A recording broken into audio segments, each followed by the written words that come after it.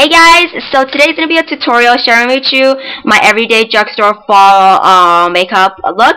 I really like it and I just created already right here um, using all drugstore products. Um, including e.l.f. I find e.l.f. as a drugstore product you get it at Target, or you can just order it online on their website, eyeslipsface.com. They're really affordable. And uh, the one product that I didn't use from drugstore is my flat shader brush right here. I'll just quickly share with you. It's from Arbonne, but I know a lot of brands like EcoTools, Annabelle, or even e.l.f. has flat shader brushes. I just use this one because um, my e.l.f. one is the darker bristle, so this is for lighter colors, so I'm using this brush. And I'll link all the reviews of every product product that I ever have review on. I'll link it in the below bar so you can go and um, check them out if you want to know more about the products that I'm using. And um, for my cheeks, I'm just using my Rimmel um, blush in 101 Pink Sugar. Um, I will have a um, how to apply blush video that I'll um, put up soon so you can go check that out as well because um, I didn't show my application in this video. Um, it's just a peachy pink blush, really good, really versatile, and it gives a nice sheen to my cheeks. And I just apply it with my e.l.f. Um, e.l.f. Professional Bronzing Brush. For my lips, I'm using my favorite lip gloss, the e.l.f. Minty Lip Gloss. is in Miami. It's just a peachy pink color with um, little gold shimmers, um, very subtle shimmers that I have on my lips right now. So if you like what you see and you want some really natural everyday wear, then um, stick around and tutorial Um, I already did this eye. I'm just going to recreate on this eye. And um, I'm going to start out by priming my eyes so the eyeshadows will last longer and won't crease. This is the Intense Shadow Blast from CoverGirl. You can use any primer, anything that you like to prime your eyes. So I'm just going to apply it directly to my lids and blend it out with um, my ring finger.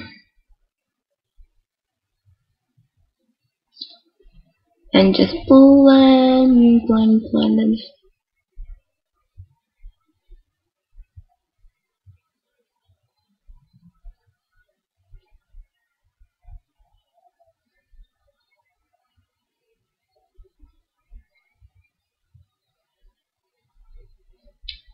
Okay.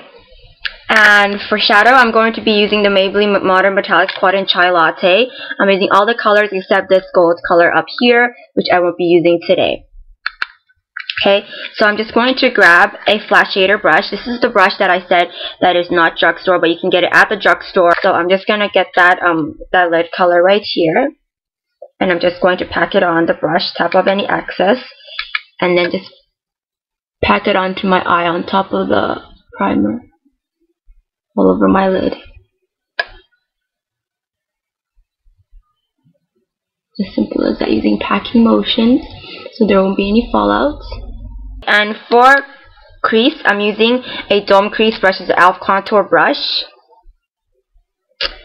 And I'm using that matte brown color. It's just more for transitioning color to blend out the color. So right here, depending on your skin tone, it might not show up on your eyes much.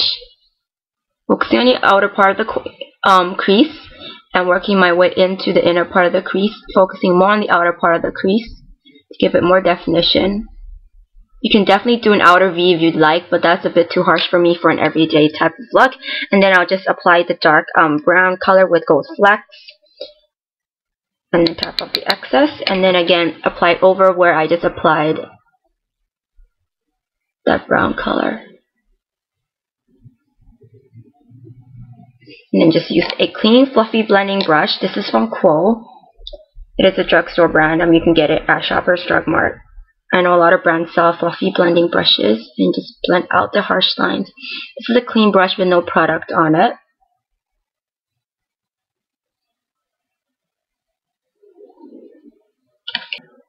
For highlights, I like to use this white color. It is from Annabelle and it's a matte white called Snowflake on that same blending brush, just get some on and apply it under your brow bone. It really, really helps highlight that part. I love matte brown.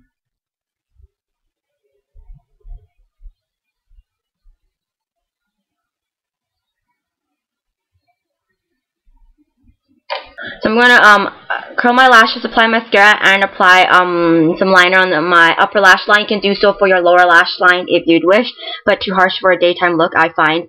So yeah